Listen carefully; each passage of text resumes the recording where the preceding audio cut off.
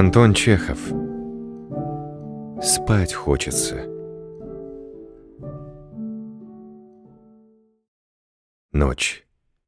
Нянька Варька, девочка лет 13, качает колыбель, в которой лежит ребенок, и чуть слышно мурлычет. «Баю, баюшки, баю, а я песенку спою». Перед образом горит зеленая лампадка. Через всю комнату от угла до угла тянется веревка, на которой висят пеленки и большие черные панталоны. От лампадки ложится на потолок большое зеленое пятно, а пеленки и панталоны бросают длинные тени на печку, колыбель, на варьку. Когда лампадка начинает мигать, пятно и тени оживают и приходят в движение, как от ветра. Душно. Пахнет щами и сапожным товаром. Ребенок плачет. Он давно уже осип и изнемог от плача, но все еще кричит, и неизвестно, когда он уймется. А Варьке хочется спать. Глаза ее слепаются, голову тянет вниз, шея болит. Она не может шевельнуть ни веками, ни губами. Ей кажется, что лицо ее высохло и одеревенело, что голова стала маленькая, как булавочная головка. «Баю, баюшки, баю», — мурлычет она тебе кашки наварю. В печке кричит сверчок. В соседней комнате за дверью похрапывают хозяин и подмастерье Афанасий. Колыбель жалобно скрипит. Сама Варька мурлычет, и все это сливается в ночную, убаюкивающую музыку, которую так сладко слушать, когда ложишься в постель. Теперь же эта музыка только раздражает и гнетет, потому что она выгоняет в дремоту, а спать нельзя. Если Варька, не дай бог, уснет, то хозяева прибьют ее.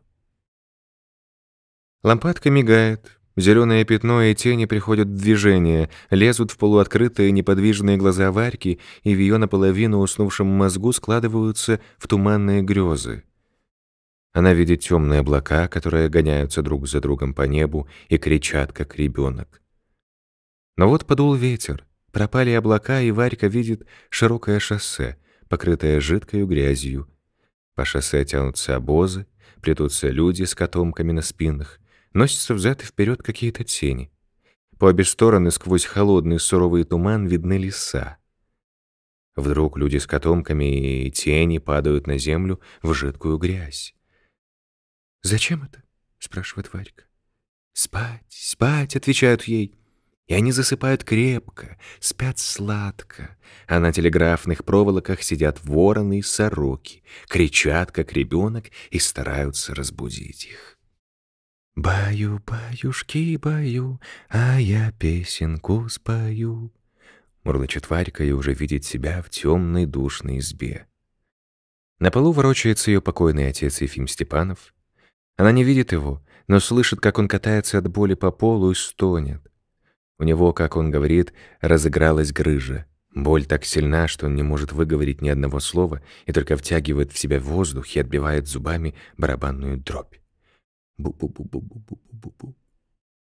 Мать Пелагея побежала в усадьбу господам сказать, что Эфим помирает. Она давно уже ушла, и пора бы ей вернуться. Варька лежит на печи, не спит и прислушивается к отцовскому бу-бу-бу. Но вот слышно, кто-то подъехал к избе. Это господа прислали молодого доктора, который приехал к ним из города в гости.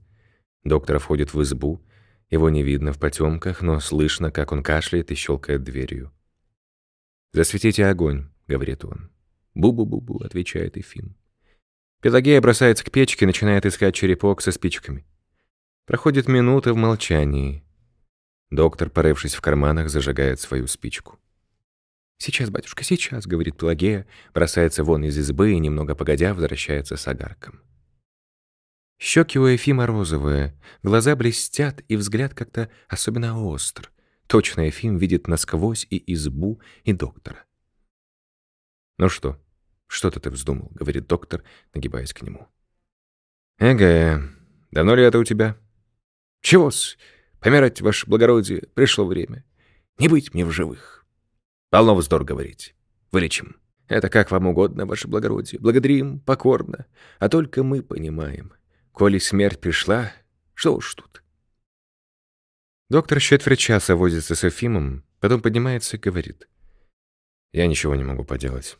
Тебе нужно в больницу ехать. Там тебе операцию сделают. Сейчас же поезжай. Непременно поезжай. Немножко поздно. В больнице все уже спят, но это ничего, я тебе записочку дам. Слышишь?» «Батюшка, да на чем же он поедет?» — говорит Пелагея. «У нас нет лошади». «Ничего, я попрошу господ, они дадут лошадь». Доктор уходит. Свеча тухнет, и опять слышится бу-бу-бу. Спустя полчаса к избе кто-то подъезжает. Это господа прислали тележку, чтобы ехать в больницу. Эфим собирается и едет. Но вот наступает хорошее, ясное утро. Пелагеи нет дома. Она пошла в больницу узнать, что делается с Ефимом. Где-то плачет ребенок, и Варька слышит, как кто-то ее голосом поет. «Баю, баюшки, баю, а я песенку спою». Возвращается Пелагея, она крестится и шепчет. «Ночью вправили ему, а к утру Богу душу отдал. Царство небесное, вечный покой. Сказывают, поздно захватили. Надо было раньше». Варька идет в лес и плачет там. Но вдруг кто-то бьет ее по затылку с такой силой, что она стукается лбом о березу. Она поднимает глаза и видит перед собой хозяина сапожника. «Ты что же это паршивая?» — говорит он. «Дети оплачут, а ты спишь?» Он больно треплет ее за ухо, она встряхивает головой, качает колыбель и мурлычет свою песню. Зеленое пятно и тени от панталон и пеленок колеблются, мигают ей и скоро опять овладеют ее мозгом. Опять же она видит шоссе, покрытое жидкой грязью. Люди с котомками на спинах и тени разлеглись и крепко спят. Глядя на них, Варьке страстно хочется спать. Она легла бы с наслаждением, но мать Пелагея идет рядом и торопит ее. Обе они спешат в город наниматься. «Подай милостыньки Христа ради!» — просит мать у встречных. «Явите божескую милость, господа милосердные!» «Подай сюда ребенка!» — отвечает ей чей-то знакомый голос. «Подай сюда ребенка!» — повторяет тот же голос, но уже сердито и резко. «Слышишь, подлая?» Варька вскакивает и, оглядевшись, понимает, в чем дело. Нет ни шоссе, ни Пелагеи, ни встречных, а стоит посреди комнатки одна только хозяйка, которая пришла покормить своего ребенка. Пока толстая, плечистая хозяйка кормит и унимает ребенка, Варька стоит, глядит на нее и ждет, когда она кончит. За окнами уже синеет воздух. Тени, зеленое пятно на потолке заметно бледнеют. Скоро утро. «Возьми», — говорит хозяйка, застегивая на груди сорочку. Плачет. Должно сглазили. Варька берет ребенка, кладет его в колыбель и опять начинает качать. Зеленое пятно и тени мало-помалу исчезают, и уж некому лезть в его голову и туманить мозг. А спать хочется по-прежнему. Ужасно хочется. Варька кладет голову на край колыбели и качается всем туловищем, чтобы переселить сон, но глаза все-таки слепаются, и голова тяжела. «Варька, затопи печку!» — раздается за дверью голос хозяина. «Значит, уже пора вставать и приниматься за работу». Варька оставляет колыбели и бежит в сарай за дровами. Она рада. Когда бегаешь и ходишь, спать уже не так хочется, как в сидячем положении. Она приносит дрова, топит печь и чувствует, как расправляется ее деревеневшее лицо и как проясняются мысли. «Варька, поставь самовар!» — кричит хозяйка. Варька колет лучину, но едва успевает зажечь их и сунуть в самовар, как слышится новый приказ. «Варька, почисть хозяину калоши!» Она садится на пол, чистит калоши и думает, что хорошо бы сунуть голову в большую глубокую калошу и подремать в ней немножко. И вдруг калоша растет, пухнет, наполняет собой всю комнату. Варька роняет щетку, но тотчас же встряхивает головой, пучит глаза и старается глядеть так, чтобы предметы не росли и не двигались в ее глазах. «Варька, помой снаружи лестницу, а то от заказчиков совестно». Варька моет лестницу, собирает комнаты, потом топит другую печь и бежит в лавочку. Работы много, нет ни одной минуты свободной. Но ничто так не тяжело, как стоять на одном месте перед кухонным столом и чистить картошку.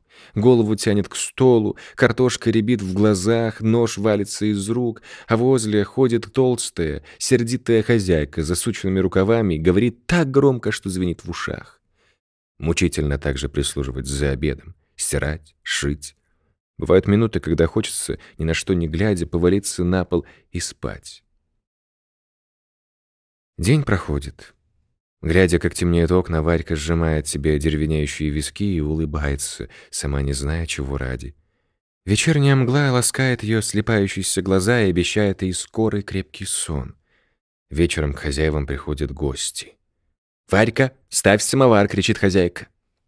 Самовар у хозяев маленький, и прежде чем гости напиваются чаю, приходится подогревать его раз пять. После чаю Варька стоит целый час на том месте, глядит на гостей и ждет приказаний. «Варька, сбегай купи три бутылки пива». Она срывается с места и старается бежать быстрее, чтобы прогнать сон. «Варька, сбегай за водкой». «Варька, где штопор?» «Варька, почисть селедку». Но вот, наконец, гости ушли. Огни тушатся, хозяева ложатся спать. «Варька, покачай ребенка», — раздается последний приказ. В печке кричит сверчок. Зеленое пятно на потолке и тени от панталона пеленок опять лезут в полуоткрытые глаза Варьки, мигают и туманят ей голову. «Баю, баюшки, баю», — мурлычет она, — «а я песенку пою». Ребенок кричит и изнемогает от крика. Варька видит опять грязное шоссе, людей с котомками, Пелагею, отца Ефима. Она все понимает, всех узнает, но сквозь полусон она не может только никак понять той силы, которая сковывает ее по рукам и по ногам, давит ее и мешает ей жить. Она оглядывается, ищет эту силу, чтобы избавиться от нее, но не находит. Наконец, измучившись, она напрягает все свои силы и зрения, глядит вверх на мигающее зеленое пятно и, прислушавшись к крику, находит врага, мешающего ей жить. Этот враг — ребенок. Она смеется. И удивительно, как это она раньше не могла понять такого пустяка. Зеленое пятно, тени и сверчок тоже, кажется, смеются и удивляются. Ложное представление овладевает Варькой. Она встает с табурета — и, широко улыбаясь, не мигая глазами, прохаживаются по комнате. Ей приятно и щекотно от мысли, что она сейчас избавится от ребенка, сковывающего ее по рукам и ногам. Убить ребенка, а потом спать, спать, спать. Смеясь, подмигивая и грозя зеленому пятну пальцами, Варька подкрадывается к колыбели и наклоняется к ребенку. Задушив его, она быстро ложится на пол, смеется от радости, что ей можно спать, и через минуту спит уже крепко, как мертвая.